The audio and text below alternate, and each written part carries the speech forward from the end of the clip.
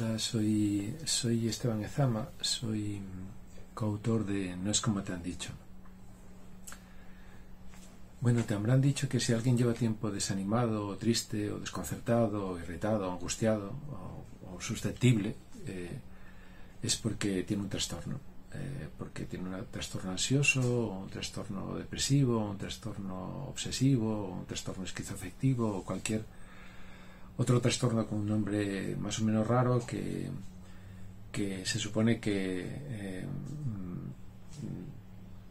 señala que hay algo en el cerebro de la persona que aunque no se pueda ver está ahí está, eh, y está contribuyendo a, a, su malestar y a su desgracia. ¿no?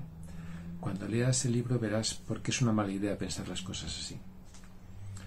Si una persona está muy a menudo desanimada o triste o irritada o preocupada o inconsistente, da por seguro que hay algo importante para él o para ella eh, que no está consiguiendo y que eso que está y que lo que está intentando para conseguirlo está interfiriendo con otras cosas, comprometiendo, interfiriendo con otras metas que son importantes también en su vida.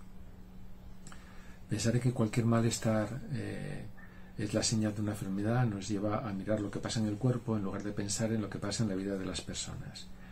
Y hay muchas cosas malas en la vida que dependen de cómo funciona nuestro cuerpo, pero muchísimas más que no dependen de eso.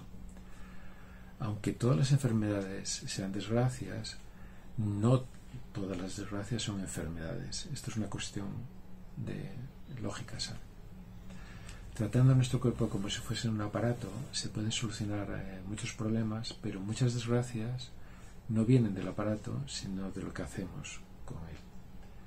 La medicina se ha centrado en la fisiología de nuestros organismos y la psicología se ha centrado en lo que intentamos conseguir utilizando nuestro organismo y el organismo de los demás y en cómo lo hacemos. Lo que pasa no depende solo de lo que nosotros hacemos las desgracias vienen tanto de lo que hacemos nosotros como de lo que hacen otras personas. Cuando intentamos explicar los problemas que tenemos como si fuesen algo parecido a una diabetes o una artritis, hay cosas mm, relevantes que se dejan de ver. Dejamos de entender lo que sucede. Para decir qué enfermedad tiene una persona bastan unas pocas palabras, pero en cambio para decir qué problema psicológico tiene alguien hay que contar una historia eh, y hay que pensar en una vida. Los problemas psicológicos vienen de intentar adaptarse a situaciones muy difíciles y vienen de encontrar soluciones contraproducentes, muy costosas y sostenibles. Bueno, con esto una diferencia fundamental entre los tratamientos médicos y las terapias psicológicas es que un tratamiento médico funciona con solo que seamos obedientes. Una terapia psicológica solo nos ayuda si contribuye a que seamos más sabios. Las terapias psicológicas funcionan porque nos ayudan a entender y a tratar a otros y a nosotros mismos de una forma distinta, más eficaz. No hace falta que reflexionemos para que una medicina funcione, pero para que una terapia psicológica funcione, hace falta reflexionar. Hace falta reflexionar sobre lo que hacemos y para qué lo hacemos y sobre lo que hacen las personas con las que vivimos y para qué lo hacen.